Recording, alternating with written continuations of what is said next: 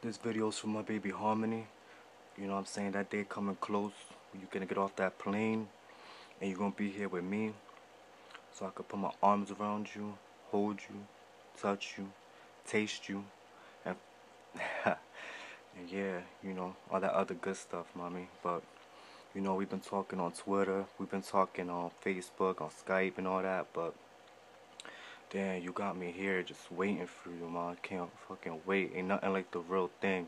Know what I'm saying? So, can't wait to have that body here with me. Know what I'm saying?